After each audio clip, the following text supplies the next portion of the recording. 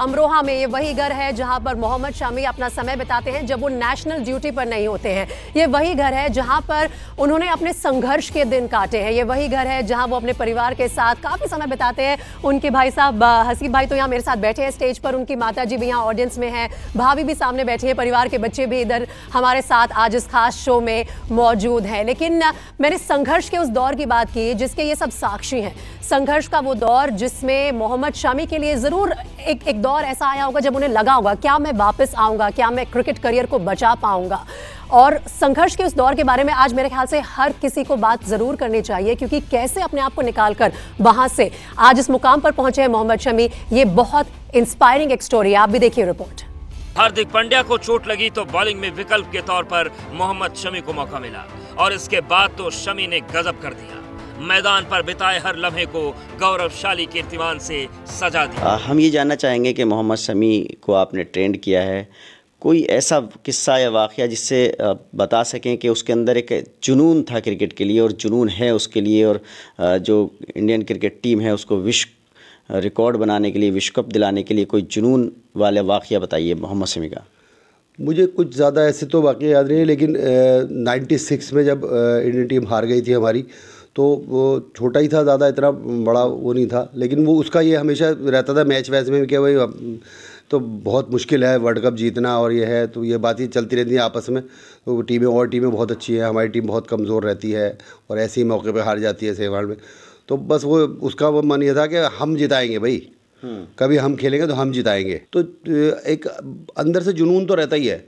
और इसको तो बेनतहा जुनून था। खैर, मेरे, मैं शायद ऐसा कोई प्लेयर मेरा ऐसा नहीं रहा जितना ये जुनून ही रहा है।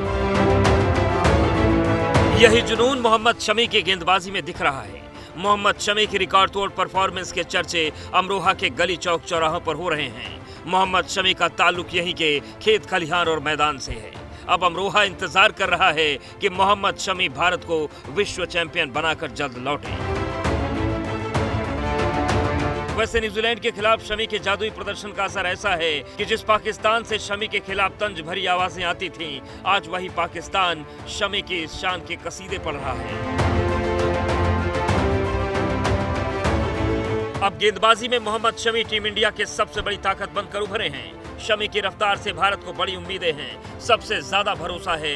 लेकिन जिस पर शमी को सबसे ज़्यादा भरोसा था, कुछ वक्त पहले उसी ने स्पीड के स्टार की ज़िंदगी में जलजला ला दिया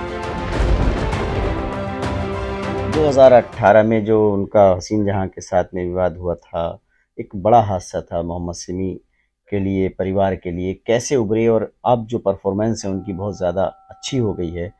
तो पूरा जो प्रकरण था किस तरह से आप लोगों ने हैंडल किया कैसे हौसला दिया उनको?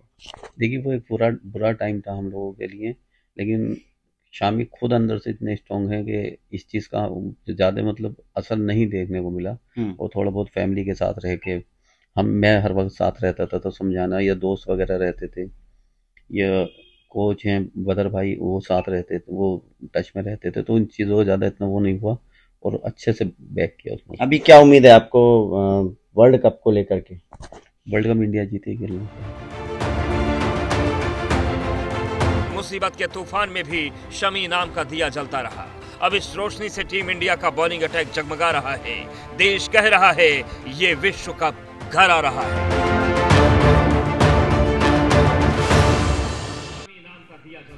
जैसे ही घड़ी का काटा दोपहर ढाई पे आए, बबीता जी का दिल सास बहू साजिश के लिए मचल जाए।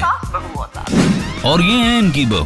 पूरे दिन ऑफ़िस की टेंशन हो जाए गॉन जब ये करें अपना फेवरेट शो फ्री टाइम पे ऑन इनकी तरह आप भी देखिए अपना फेवरेट शो अपने टाइम पर। और डाउनलोड कीजिए एबीपी लाइव ऐप अपने स्मार्ट टीवी पर।